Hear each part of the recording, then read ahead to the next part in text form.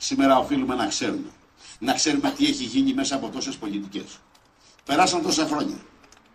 Ήρθε εκείνο συνέλευση με ένα τεράστιο πλούτο και με ένα αξιακό, μοναδικό, για να δημιουργήσει την Ελλήνο πολιτεία μέσα στο αξιακό σύστημα της αλήθειας του δικαίου.